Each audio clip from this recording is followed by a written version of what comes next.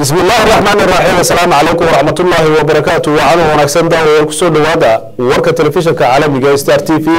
Oo hadaan oo kale idin ka yimaada stuudiyaha telefishinka ku leeyahay magaalada hargeysa. Warkan waxaa idinla socodsiinaya anigoo ah maxamuud xuseen jaamac qodobada warka ugu doorka roobna waxaa ka mid ah magaalada muqdisho degmada waaberi waxaa ka dhacay qaraxyo sababay dhimashada shan qof iyadoo la sheegayo in tiro kale oo dadina ay halkaasi ku dhaawacmeen.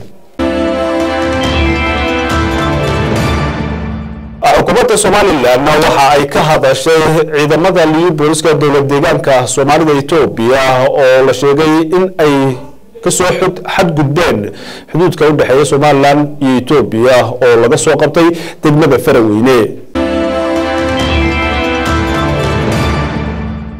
wasiirka shaqada iyo arrimaha bulshada somalilanna waxa uu dah furay tababar socon doona muddo lix iyo toban cisho ah oo lagaga hadli doono tacadiyada ka dhanka ah haweenka.